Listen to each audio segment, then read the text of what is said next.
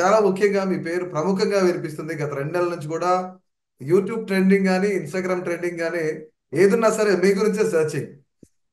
So wild card ఎంట్రీలో మీరు ఉండబోతున్నారు బిగ్ బాస్లోకి వెళ్ళబోతున్నారని చెప్తున్నారు. ఎట్లా అనిపిస్తుంది మీకు?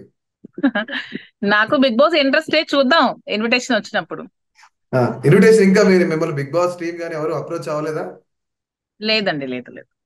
ఒకవేళ అప్రోచ్ అయితే కనుక డెఫినెట్లీ వెళ్ళడానికి మీకు ఇంట్రెస్ట్ ఉందా? యా, ఉంది ఉంది. ఇంట్రెస్ట్ అయితే ఉంది. ఎలా ఉన్నారు? మీ- రాజావారు ఎలా ఉన్నారు? బాగున్నారండి. ప్రెసెంట్ విజయవాడ మీటింగ్లో ఉన్నారు సీఎం మీటింగ్లో. అదే విజయవాడ సీఎం ఎక్స్ సీఎం మా జగన్మోహన్ రెడ్డి గారు. జగన్మోహన్ రెడ్డి గారి మీటింగ్లో ఉన్నారు. సో ఎస్పెషల్లీ మేడం మీ యొక్క అన్యోన్యం కానీ మీ యొక్క మాటలు కానీ మీ యొక్క రిలేషన్ కానీ చూస్తే చాలా మంచిగా అనిపించింది.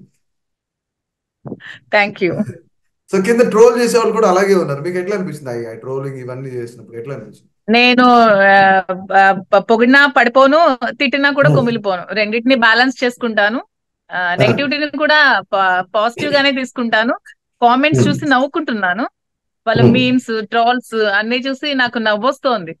ఎంత. స్పెషల్ ఇంట్రెస్ట్ పెట్టి నా కోసం వాళ్ళ టైం స్పెండ్ చేసి మీమ్స్ తయారు చేస్తూ ట్రోల్స్ చేస్తూ వీడియోస్ అప్లోడ్ చేస్తున్నారు.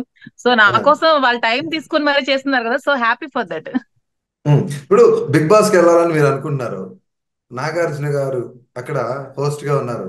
నాగార్జున గారు అంటే మన్మధుడు. నిజంగానే ఆయన ఎవరు చూసినా సరే చాలా ప్రేమగా చూస్తారు చాలా అభిమానంగా చూస్తారు.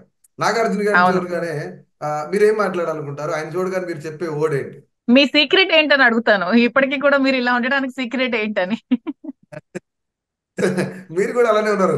మీ సీక్రెట్ ఏంటని నేను అడుగుతున్నాను నిజంగానే.